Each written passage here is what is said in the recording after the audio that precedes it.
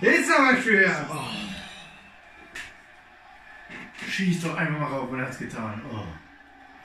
Die Geschwindigkeit entscheidet dieses Match. Und zwar ist es die Geschwindigkeit von Marcel Hilzner. Super gekreuzt.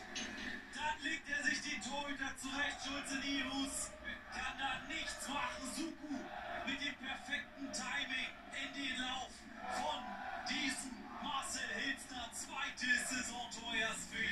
Ah, já foi. Já.